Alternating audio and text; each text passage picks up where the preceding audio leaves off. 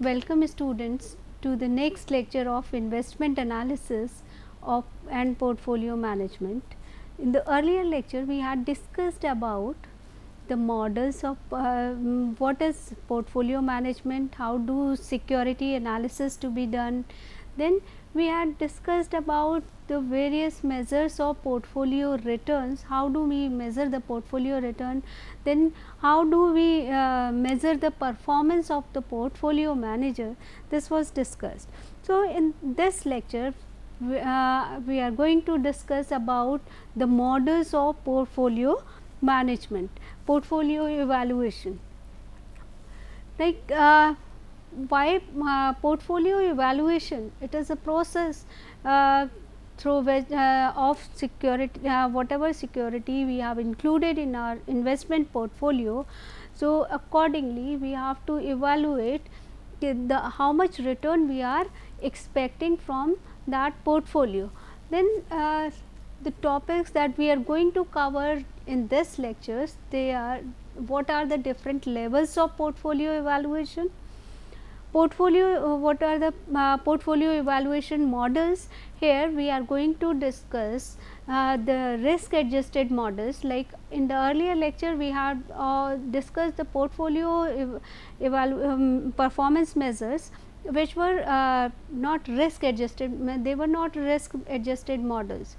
These are the risk adjusted model. These are Sharpe model Treynor model and what is the difference between these two models. So, that we would uh, take into consideration during this lecture. Now, see there are various levels of portfolio evaluation. When do we evaluate a particular portfolio? So, uh, there are the three things whenever evaluating every transaction whenever a security is bought or sold. Whenever we try to include a particular um, the securities into our portfolio at that particular time we evaluate the risk and return associated with the security. Risk and return. How much return we are getting? What is our risk tolerance level? So based on the risk tolerance level investor decide uh, uh, decide about uh, and uh, the uh, return expectation the investors select the securities from the market. Now, we have to see okay, once the we have uh, included the security into the portfolio now we have to see okay, whatever decision we have taken whether it was correct profitable or not if the portfolio if the uh, is earning positive rate of return if there is positive return it means the decision is correct.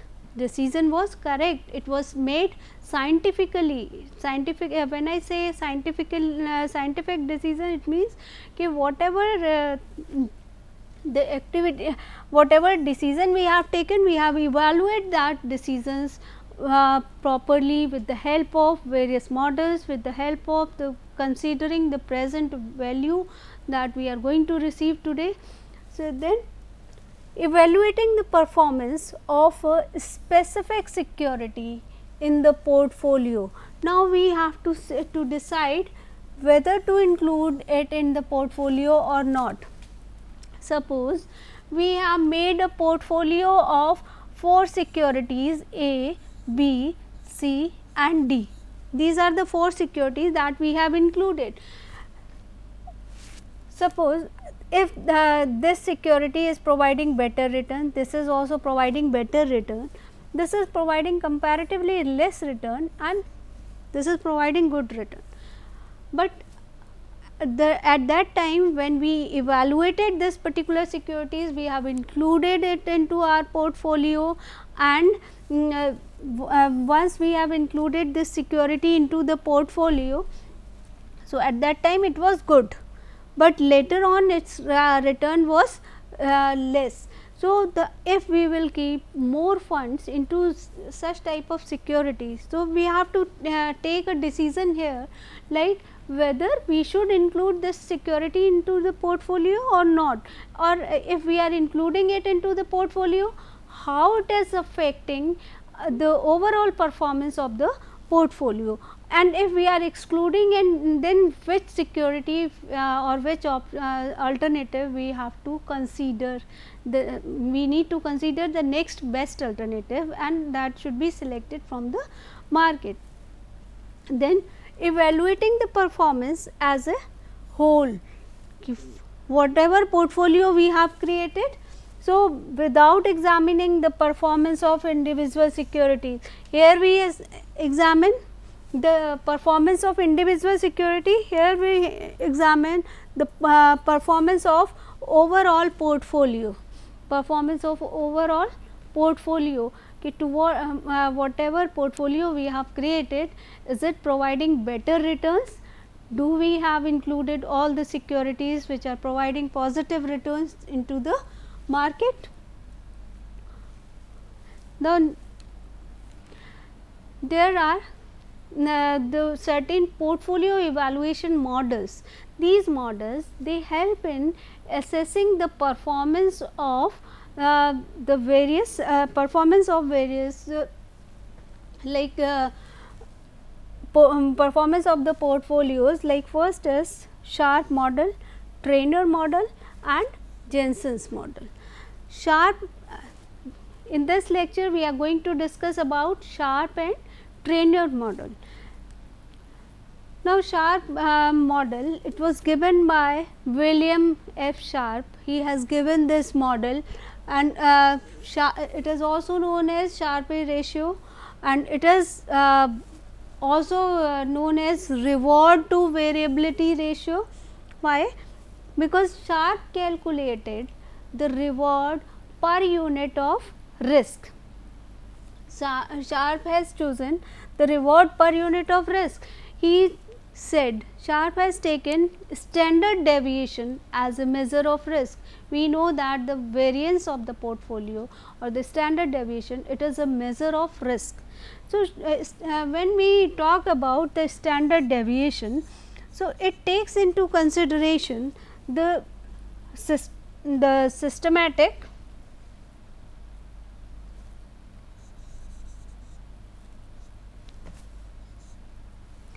it takes into consideration this systematic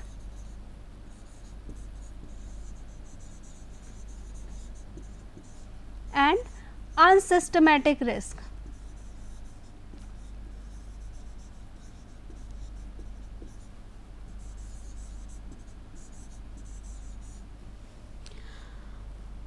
we all know what is systematic risk, what is unsystematic risk. Like uh, uh, systematic risk is something which uh, the risk which is related to the market. It is related to the market and it has to be faced by all the industries, all the companies which exist in that particular economy and unsystematic risk is it can be reduced unsystematic risk can be reduced through diversification like unsystematic risk uh, uh, it can be minimized, but Sharpe said uh, Sharpe has taken the total risk as a relevant measure of risk per unit of time per unit of reward per unit of variability of risk. Now, what the Sharpe has done Sharpe's model is based on this assumption that the unsystematic risk can be uh, diversified. It can be minimized through diversification, but we cannot bring it down to 0. So, that is why it is also one of the relevant measure of risk. Then uh, the Sharpe has chosen the systematic risk as a measure of risk. Now, so, he has taken the total risk uh, associated with the security. He said that there is uh, um, Sharpe has chosen standard deviation, he has chosen the total risk as a measure of risk that includes systematic and unsystematic risk both. So, Sharpe tried to calculate the reward per unit of risk to adjust the risk. In, uh, then the Sharpe performance uh, uh, Sharpe measure of performance is it is the uh, risk premium earned per unit of total risk. What is risk premium here? RP minus RF. This is the risk premium earned per unit of total risk. Here the Sharpe has chosen it is divided by the standard deviation. So, the risk premium is expected return minus risk free rate of return. Risk free rate of return is where the rate of returns are fixed where there is no risk like uh, for example, government securities, mon uh, money market instruments which uh, offer there are the securities which offer uh, fixed rate of return. Now, let us take this example and uh, Sharpe uh, what uh, what is the Sharpe has said one more thing the Sharpe which uh, the Sharpe has said कि like uh, if we are evaluating uh, the fund performance on the basis of this model so we need something for comparing something uh, should be there for the comparison purpose. How do we assess that the performance of the portfolio or the portfolio has outperformed? How do we assess until and unless there would be something for comparison? So, Sharpe has taken uh, the market uh, return also. So, uh, for example, here the market ra rate of return is 14 percent, RF is 8 and standard deviation of the market is 0.2. Now, there are three funds A, B and C. The return associated with fund A is 13 percent, here it is 17 percent, then 16 and standard deviation of return is 18 percent, 22 percent and 23 percent. Now, we are required to calculate the Sharpe index. Now, how do we calculate? Sharpe index is this is equal to RP minus RF upon sigma p standard deviation. This is the Sharpe index. So, uh, we have to calculate it for market as well as for the fund like fund A, Sharpe index for fund A, Sharpe index for fund B and Sharpe index for fund C. So, this way we have to calculate it, we have calculated it as 0.14, 14 percent is the market rate of return minus risk free rate of return is 0.08 divided by 0.2. So, it comes out to be 0.3. Similarly, we have calculated the Sharpe index for all the three securities like here we have taken the RP return of portfolio RF and this is standard deviation. So, the value comes out to be this as, similarly for fund B it is 17 percent return RF is again 8 percent divided uh, by 0.22 is the standard deviation. Now, let us see Sharpe has said the uh, securities which are above the security market line there is this SML which denotes the risk, uh, relationship between the systemat uh, the risk associated with the market and risk free rate of interest. So, the securities which are having uh, uh, if Sharpe index is greater than uh, security is greater than market, it means that security has outperformed, outperformed. If Sharpe index for security, Sharpe index for security is less than the Sharpe index for market, so, that security is not outperforming into the market. So, this way we evaluate the securities into the stock market. Now, let us plot it on the SML like what happens here we have uh, in this is RF and here risk. We have taken on this axis we have taken risk. Now, SML is like uh, risk free rate of return RF RF is RF is 8 percent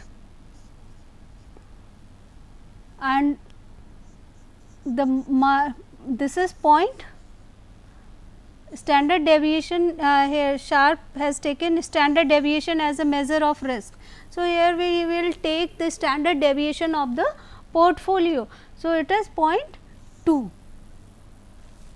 So, the uh, there would be a line which uh, will join this line is known as security market line SML. See, अब in this situation what is the standard deviation here? Uh, in case of port, uh, fund A, it is return is 13 percent, fund B 17 and fund C 16. Means uh, 13 percent would lie somewhere here, just uh, 13 percent. Then we have return of 17 percent mm,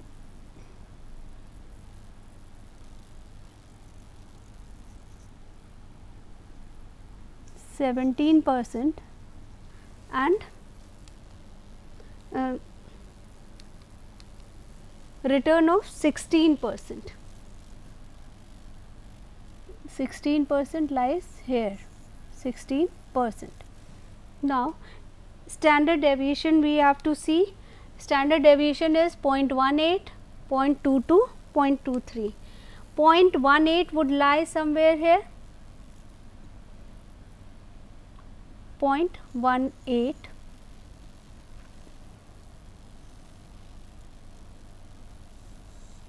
if we will join this so this is the portfolio fund A. Then fund B in case of fund B it is 0.22 and 17 percent is the return. So,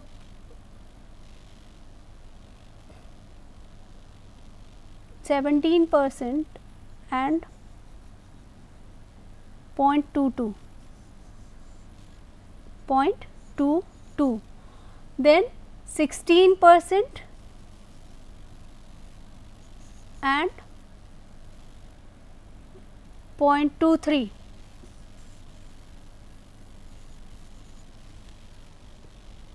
So,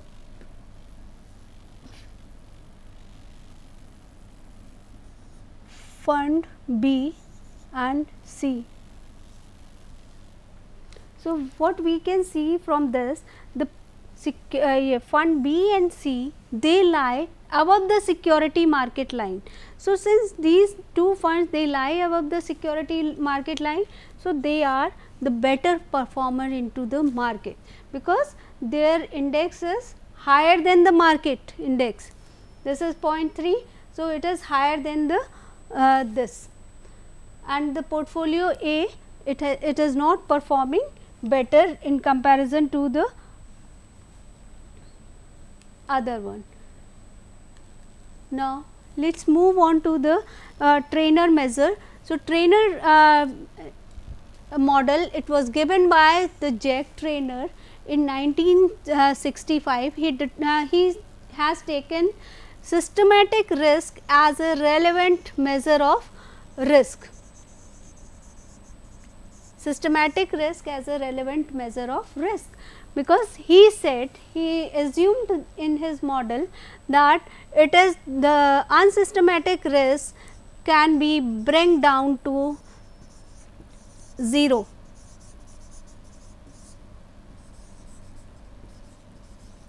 It can be bring down to 0 and systematic risk it is only the relevant measure of risk here is uh, systematic risk so, Treynor measure uh, measured the risk premium per unit of risk, but here the risk is the beta. Here the risk is the beta value. RP minus RF is the risk premium and uh, this is the beta the systematic risk associated with the market. RP is the average return of the on the portfolio and this is the risk free rate of return. Then next now let us discuss it with an example. Now uh, here also the RM is 14 percent which we have taken into the earlier example, RF here it is 8 percent. Again we are having the three fund managers A, B and C, these are the fund managers. Now the average return of the portfolio earned by these fund managers is 12 percent, 16 percent and 18 percent and beta value is 0.9, 1.05 and 1.2. So, here we have we have to uh, calculate the Treynor measure. Treynor measure again now also as in it was done in the Sharpe index. Now also we need to compare it with the market. Treynor said ki you have something for as a benchmark uh, for the comparison uh, of the performance. So, um, here the benchmark is the market portfolio. So, the return earned on market portfolio is 6 percent and while uh, the return on security A which is calculated by RP minus RF upon beta. So, it comes out to be uh, 0.044. If we will calculate the value, the uh, Treynor measure for portfolio B, it is 0.16 minus RF 0.08 upon 1.05, the value comes out to be 0.076. For portfolio C, it is uh, 0.18 minus 0.08 upon 1.2, 0.083. So, here we can see that these two portfolios, these two investment managers performance, uh, they are performing better than the market since their returns are higher than the market portfolio. So, uh, the Sharpe has introduced the concept of market risk Sharpe has introduced the concept of market risk. He has assumed beta as a measure of risk and uh, Sharpe has uh, introduced the concept of security market line. He uh, plotted the security market line like here we can also plot uh, the security market line like if we will plot these securities into the this line. So, here RF is uh, 8 percent beta of the uh, market is 1 market beta is always 1 so we have plotted this. Now if we will draw a line this market line this line is known as security market line. The portfolio which lie above this line which lie above this line those portfolios would be performing better, they would be performing better. Like here the returns we will plot here the return RF, return of portfolio and here beta. So, if we will plot these values, so what would happen? The portfolio A and portfolio B and portfolio C, they would be performing better into the market. Like what happened? This is the market beta, market beta. Now, uh, return of portfolio is 12 percent and 0.9 12 percent and value is point beta value is 0.9 then uh, return on market is 16 percent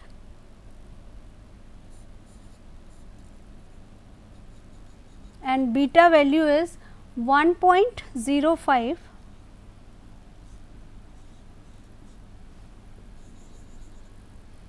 return on market is 18 percent. Uh, portfolio is 18 percent. Sorry. And beta value is 1.2. So, we can see that these two portfolios they are performing better. Portfolio B and portfolio C both the portfolios they are performing better into the market. Now, there if we compare the Sharpe and Treynor measure, so the Sharpe measure uses standard deviation of uh, re, uh, return and the Treynor model it uses the systematic risk as a measure of risk because Sharpe is since uh, Sharpe assume that we cannot bring down the unsystematic risk to 0. So, that is why it is relevant to include it into the uh, it is relevant to include this measure of risk as uh, into the uh, portfolio. While evaluating the performance of portfolio, we need to consider the total risk. On the other hand, uh, the Treynor assumed that since we can bring down the unsystematic risk to 0. So, that is why the Treynor measure uh, uh, says that uh, it is only relevant measure of risk that we need to measure that is the beta uh, or the market risk which is faced by all the securities equally into the market. Now, the Sharpe measure tests the diversification of portfolio um, that means uh, it uh, it uh, Sharpe measure say, uh, says कि if the port portfolio is well diversified um, so under that under that situation uh, uh, Sharpe checks ki whether the portfolio is uh, diversified or not. If it is not diversified, then both the risk the portfolio manager has to face. If the portfolio is well diversified, so per or perfectly diversified, the Treynor measures uh, says the two measures both the measures they would give equal ranking. If I say the perfect diversification of a portfolio that means bringing down the unsystematic risk associated with the security market to 0. Now, Sharpe measure would give it would give lower ranking and if the portfolio is poorly diversified the Treynor measure it would give high ranking. In case of portfolio, uh, um, uh, portfolio uh, is uh, poorly diversified, this measure would give lower ranking and we get better ranking with the help of Sharpe measure since Sharpe has taken this uh, systematic risk as a measure of risk. So, in this lecture what we have um, studied till now, we have studied about what uh, the what are the levels of portfolio evaluation, what are the measures uh, what uh, of uh, we have uh, studied about the uh, risk adjusted method of portfolio evaluation like Sharpe measure, Treynor measure and what is the difference between these two models, these two measures. So, the uh, which one uh, among these two the Treynor measure is comparatively better. So, thank you students for uh, listening so patiently this lecture. I hope you would have understood whatever I have told you. Thank you.